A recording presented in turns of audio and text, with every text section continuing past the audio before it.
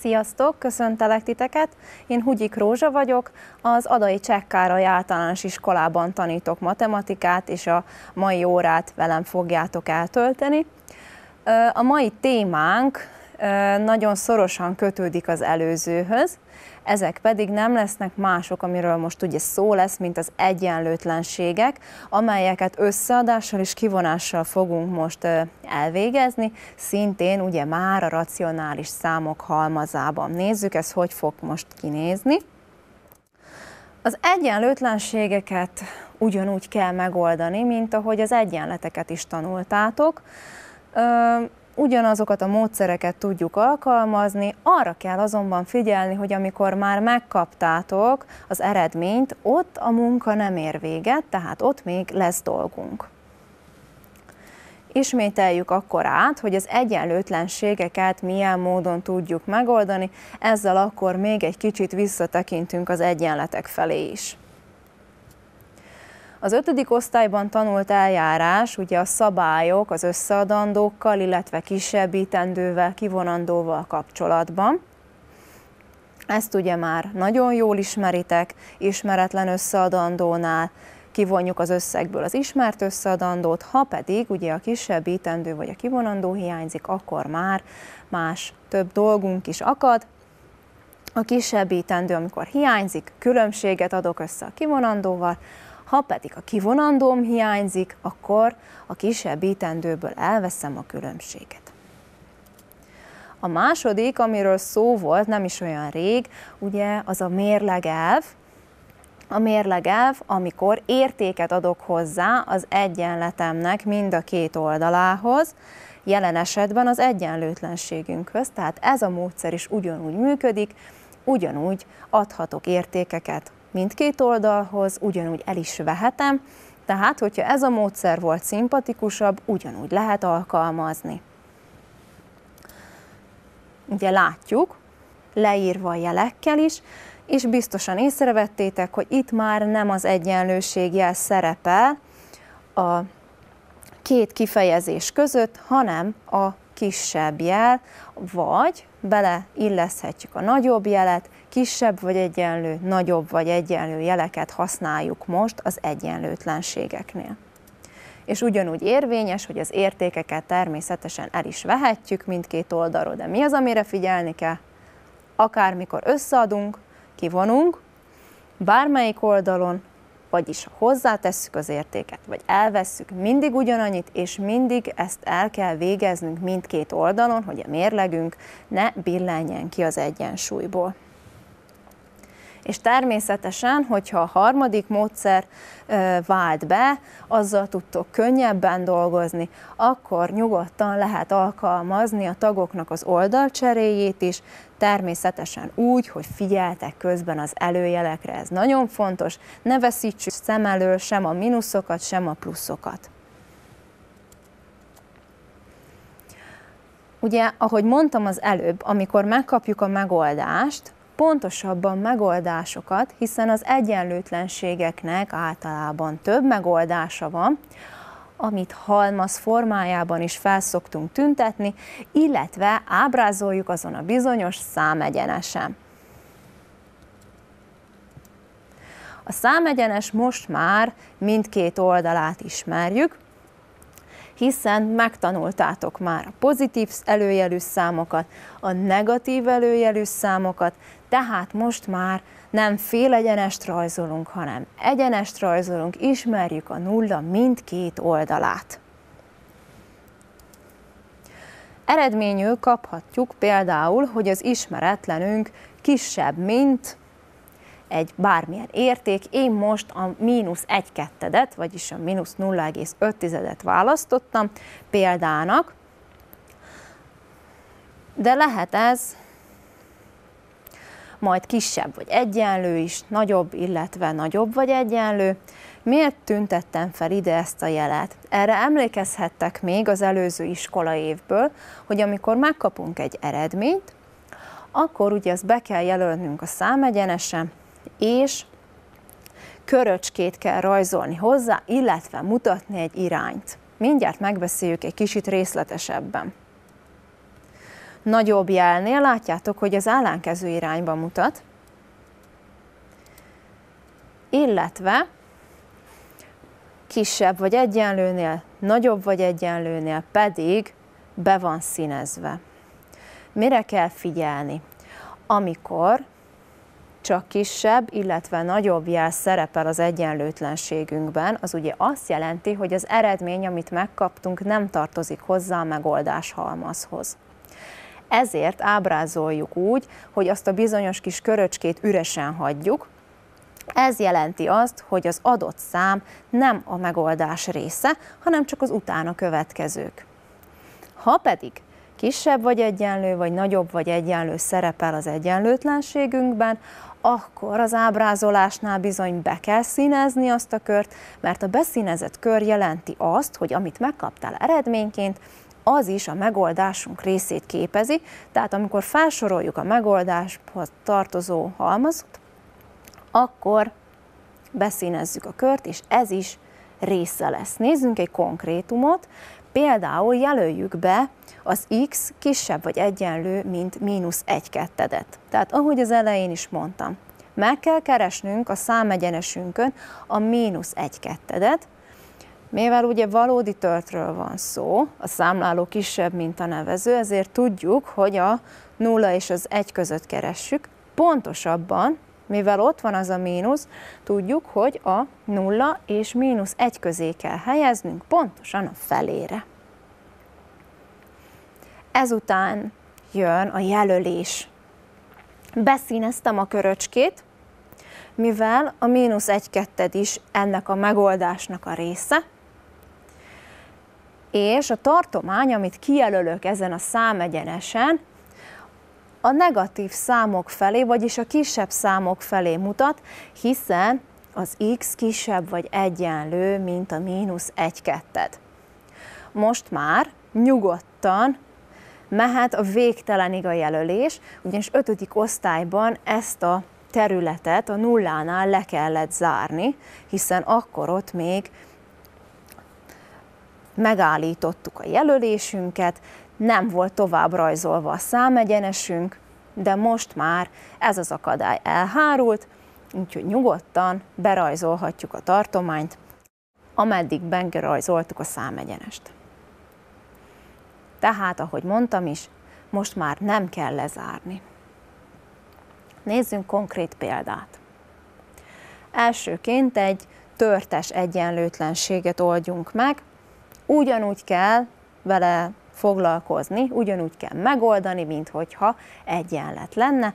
A különbség majd ugye a megoldásoknak az ábrázolásában lesz. Erre a megoldásra én most az oldalcserés módszert választottam, ami a felsorolásban a harmadik volt. A plusz két harmad került át a jelünknek a túloldalára, és látjátok, hogy összeadás van az eredeti oldalon, és amikor megcseréltük az oldalt, akkor pedig kivonást végez a tagunk, és hogy ne felejtsétek el, hogy mit miből kell oldalcserénél kivonni, én ajánlom, hogy amelyik tag már a saját oldalán van, azt lemásoljuk, és mellé költöztetjük a túloldalról a vendégét, arra figyelve, hogy meg kell fordítanunk a jelet. Innentől kezdve már tudjuk, hogy mi hogy működik, mivel egy kivonásról van szó, törtekről jön a közös nevező, elvégezzük szépen a kivonásunkat, és megkaptuk az eredményt. Itt még nem dőlünk hátra, mert szükséges az ábrázolás vagy halmaz formájában, vagy pedig a szám egyenesen. Nézzük a megoldás halmazt, ezt már szerintem nagyon ügyesen le tudjátok olvasni, tehát a mi megoldás halmazunk olyan x-ek halmaza, amelyek ugye a Q halmazba tartoznak, minden elem, és az x nagyobb vagy egyenlő, mint az 5 hatod. Mivel itt van az egyenlő, ezért ebbe a halmazba beletartozik maga az 5 hatod is, Nézzük meg a szám egyenesen, és a köröcskére figyeljünk nagyon oda. Itt a számegyenesünk, az 5 6 szintén egy valódi tör, tehát a 0 és az 1 között kell keresnünk, és mivel az x-ünk nagyobb, mint 5 6 illetve nagyobb vagy egyenlő, ezért beszíneztük, és a nagyobb számok felé, tehát a jobb kezünk felé a pozitív részre mutat a tartomány, amit bejelölünk. Tehát még egyszer, figyelünk az előjelekre most már, oldalcserénél is, és minden alkalommal a számolásnál, ugyanúgy kell eljárni, mint hogyha egy egyenlet lenne, azzal, hogy a végén nagyon jól meg kell figyelnünk, hogy milyen értékekre van szükségünk, amik nagyobbak, kisebbek, vagy nagyobb, kisebb egyenlők azzal, amit eredményül kaptunk, és ezt ne felejtsük el ugye számegyenesen bejelölni, vagy pedig halmaz formájába felírni. A következő egyenlőtlenségünk megoldása a mérleg elvel fog történni. Ez ugye a második példánk, ide most tizedes számokat választottam. Egy összeadásos egyenlőtlenségről van szó, megfigyelhetjük a jelet, látjuk, hogy kisebb, mint, vagyis akkor már tudunk egy picit előre gondolkozni, hogy majd kell színezni azt a köröcskét, vagy nem kell színezni azt a köröcskét. Itt minden bizonyal üres marad. Mínusz 4,9 század, tehát egy kivonást fogok végezni most az egyenlőtlenségemnek mindkét oldalán. Miért is teszem ezt? Az egyenleteknél hallhattátok, egy kicsit elevenítsük fel. Ugye az a lényegünk, hogy kifejezzük azt az x-et, hogy a saját oldalán egyedül maradjon. Hogyha ezt a kivonást elvégzem, akkor a bal oldalon csak az ismeretlenem fog maradni, a másik oldalon pedig majd el fogom végezni a megfelelő műveletemet. El is tűnt onnan, és a jobb oldalon pedig két negatív számnak a művelete maradt. Ugye összeadom őket, azonos az előjelük, mínusz 6,2 lett az eredményünk, ezt akkor ábrázoljuk is. A megoldás halmazunkat is felírjuk, ugyanúgy a Q halmazban dolgozunk, és a számegyenesnél pedig nagyon figyelünk a köröcskére. meg is jelent nekünk a mínusz 6,2. Látjuk, hogy a köröcske üres, mivel csak a kisebb jelet használtuk, és ebből már azt is tudjuk, hogy melyik irányba kell, hogy bejelöljük a tartományunkat a kisebb számok felé, vagyis tovább kell, hogy mutasson a negatív számok irányába. Jöjjön néhány gyakorló feladat, meg fogjuk oldani a következő egyenlőtlenségeket, és akkor utána pedig ö, jelöljük őket a számegyenesen. Nézzük az elsőt.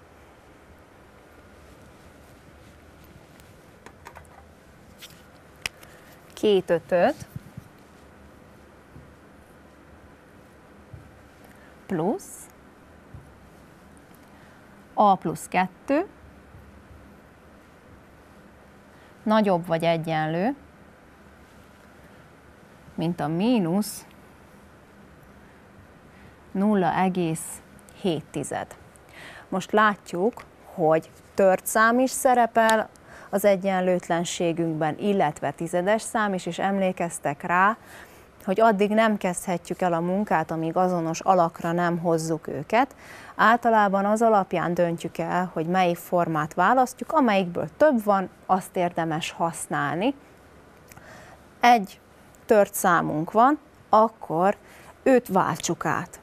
Az átváltásra szerintem még mindannyian emlékeztek.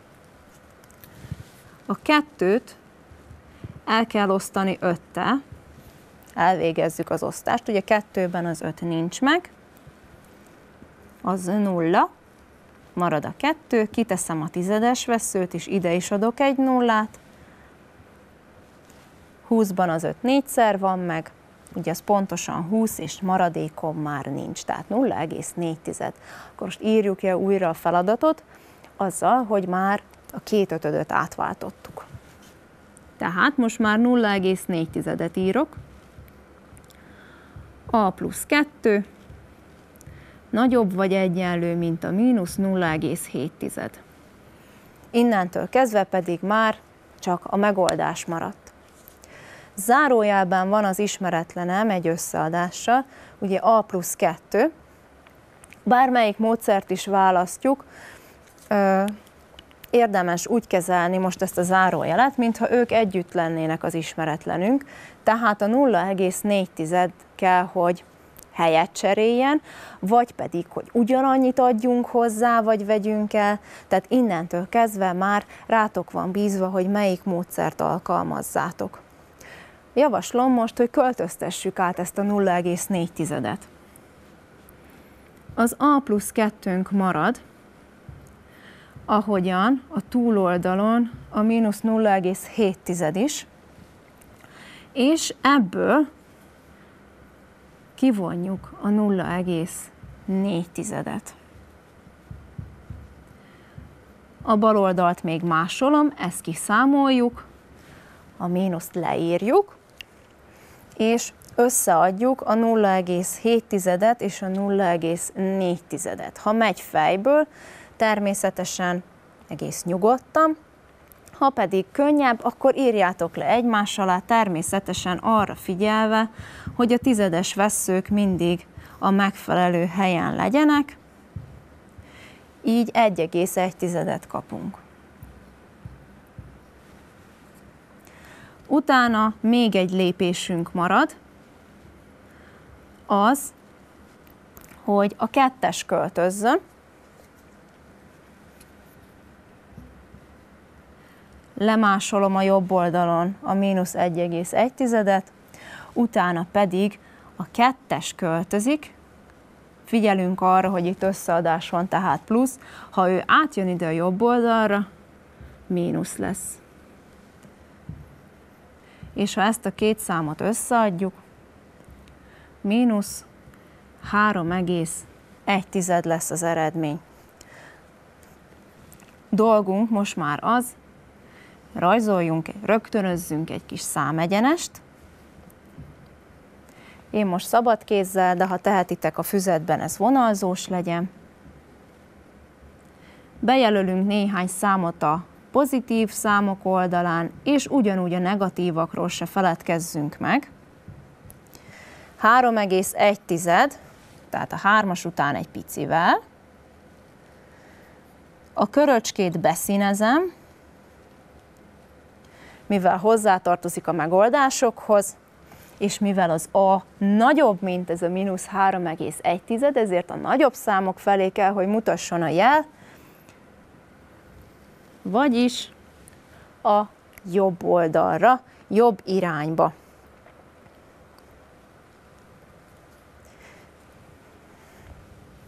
A következő feladatunkat, tehát látjuk itt a megoldást, a következő feladatunk egy törtes számítás lesz. Én javaslom nektek, hogy ezzel próbálkozzatok meg. Látjátok, hogy átváltani nem kell, a megoldási módja pedig nagyon hasonló, ugyanúgy lehet költöztetni, vagy a mérlegelvet is használhatjátok, ez rátok van bízva. Egy nagyon jó kis gyakorló feladat, úgyhogy ajánlom, hogy próbáljátok meg megoldani.